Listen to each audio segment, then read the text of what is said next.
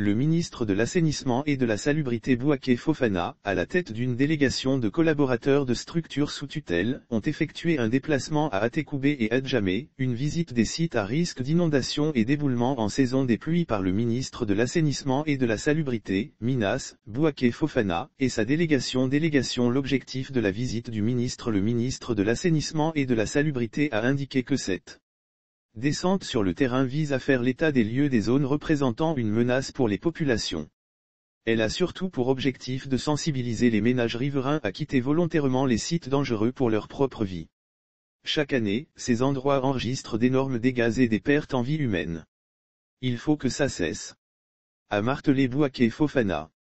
Chaque année, ces endroits enregistrent d'énormes dégâts et des pertes en vie humaine. Il faut que ça cesse. Le Minas, qui avait à ses côtés le maire d'Atekoubé, Paulin Claude Dano, a parcouru les quartiers d'Ajban-Atier et de Mossicro. Il a souligné que les habitants de ces zones côtoient le danger en permanence. Dans ces quartiers, les populations, surtout les enfants, sont livrées à elles-mêmes du fait de la précarité des lieux, a ajouté Bouaké Fofana.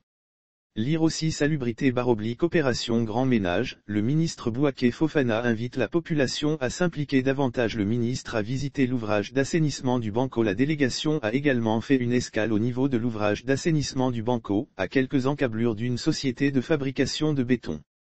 Le Minas a noté que l'ouvrage connaît de véritables problèmes, car il n'arrive plus à évacuer normalement les eaux de pluie à cause d'un dysfonctionnement engendré par les déchets ménagers qui obstruent les canaux en amont. Il faut beaucoup de sensibilisation pour arriver à un changement de comportement. Bouaké Fofana et sa délégation se sont ensuite rendus à Bracody et au pont piéton à Adjamé. Il y a également fait l'amer constat de l'obstruction des canaux d'évacuation.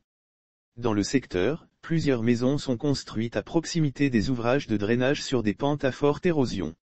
Lire aussi Insalubrité en Côte d'Ivoire, le ministre Bouaké Fofana met en garde, nous allons sévir, il faut beaucoup de sensibilisation pour arriver à un changement de comportement.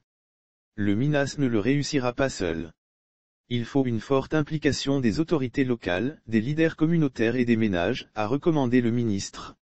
Par ailleurs, évoquer la mise en œuvre d'un projet de prévision précise des pluies avec la Société d'exploitation et de développement aéroportuaire, aéronautique et météorologique, Sodexam.